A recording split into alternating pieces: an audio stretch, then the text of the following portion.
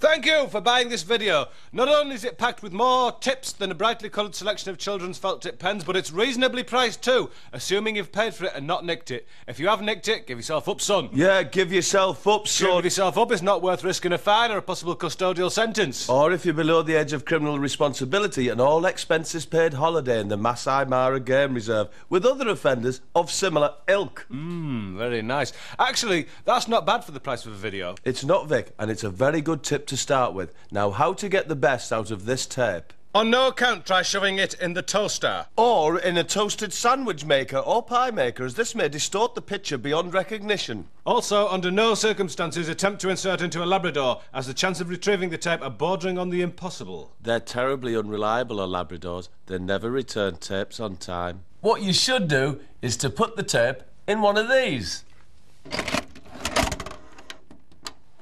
Thank you for buying this video. Not only is it packed with more tips than a brightly coloured selection... Top 10.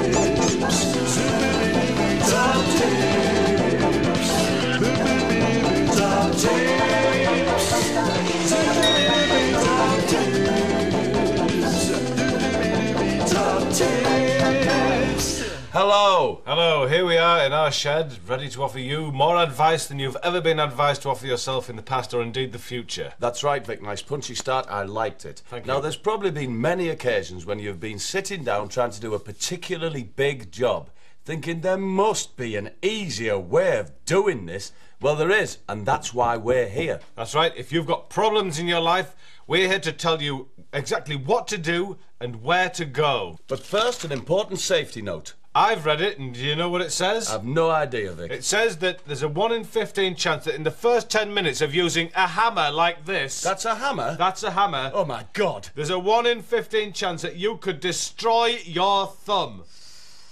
So, my tip is this. Ah!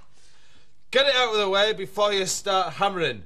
What a good idea. Therefore, you avoid all the unpleasantness that is associated with destruction of thumb.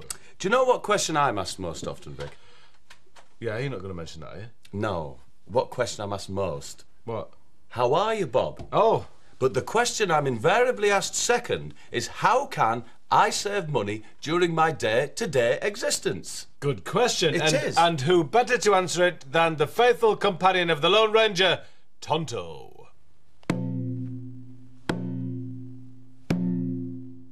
Thank you, Tonto. I think there's a message there for all of us. But, Bob, do you know how I save money?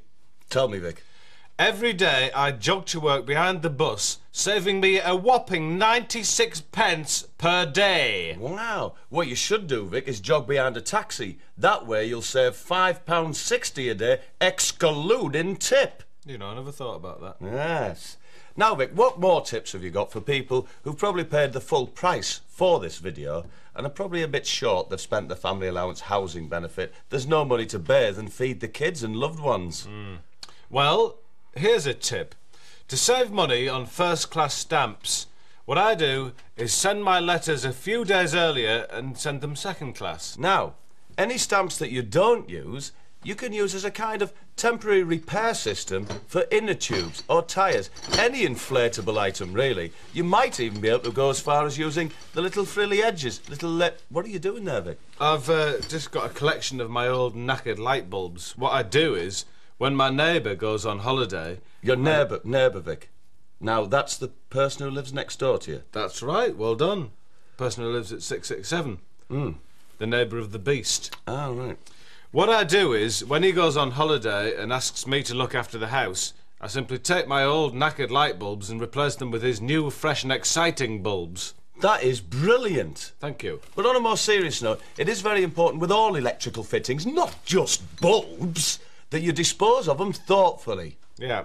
And what do we do with those old neon lighting tubes? As one time curator of the Peking Zoo, I always found that the best way to dispose of old neon lighting tubes was to carefully insert them into dead snakes. See here, here's one now, done. That's what you should do. What a sensible and attractive man, and what a top tip. Now, if you can't get a dead snake, a live one will do, because the insertion of said tube deep into the guts of the snake via the throat will soon kill it. Now, Vic, I've lost count of the number of times people have asked me for guidance and advice on the subject of antique furniture and the rest. Five. It's how many? Five people. Five people. Yes, I've lost count. Hot chocolate. It was Hot Chocolate who asked me.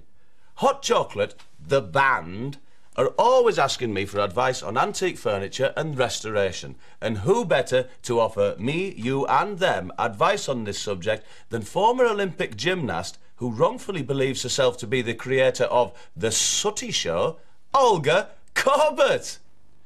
How can you prevent your 18th century Chippendale chaise longue from becoming damaged by woodworm? Easy. Rub a drop of whiskey into the affected area and it'll make them too drunk to have sex and therefore unable to reproduce. And I'll tell you something else you can do with wood boring insects. Take a handful of dead wood lice, pop 'em into a little matchbox and tape on a lolly stick. Hey presto, a cheap but entertaining rattle for a baby or a geriatric elder relative.